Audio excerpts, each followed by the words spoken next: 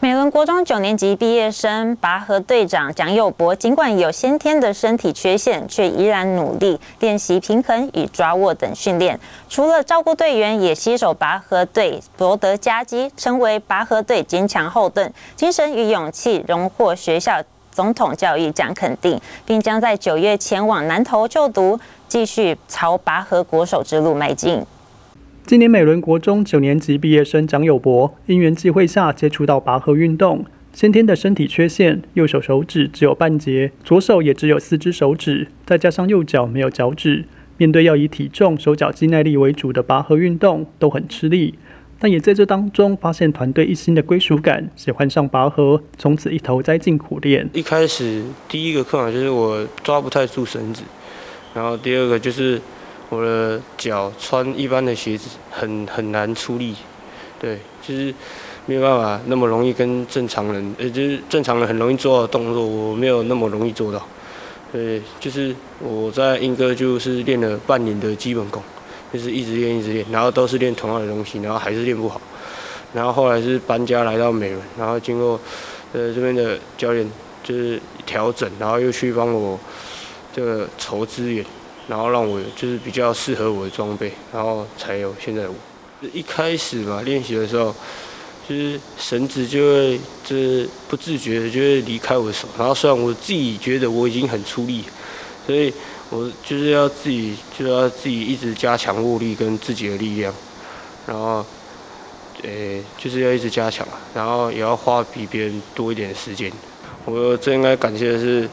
我我的教练吧，还有我的队友。然后还有我爸，因为他们都很支持我这项运动，然后也很努力的帮我，尤其是教练，他花了蛮多时间去帮我筹资源跟训练。然后我的队友是让我一直在这运动走下去的动力，我特别感谢这些人。我未来去南投高中了，我去那边，我最想要做的是，我希望我去那边之后，我可以当上国手。或者是我最想我的梦想之一啊，就是我想要未来可以代表台湾出去比赛，就是希望如果有人可以看到我的故事的话，我就觉得这个人就是可以像我一样，就是都不要放弃，然后找一群跟自己一可以跟自己一起拼梦想的好队友，然后会让你更容易坚持下去。一路看着友博成长的美伦国中拔河队教练林哲龙表示。一开始接触到友博，其实相当担心，但也从当中看见友博的决心。刚接触到友博这个小朋友的时候，一开始来我是吓一跳，因为他的状况，手跟脚的状况，其实其实讲真的不适合在运动场上。哦，可是他有这个心，想要在这个地方发展，那我们就想办法帮他解决。啊，我们后面练习过程当中已经调整过很多次他的。脚的问题，后来是没办法解决，后来还是请了厂商特别帮他定做一双特特制的鞋子，后来才改善了他在脚方面的问题。他的训练的东西其实有跟别人是不太一样的啦，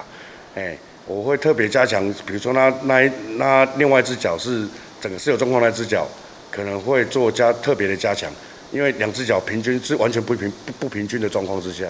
希望有博到南投高中之后，可以朝着国手的方向前进。好，如果真的选上国手了，那那真的就是他这辈子，这个就是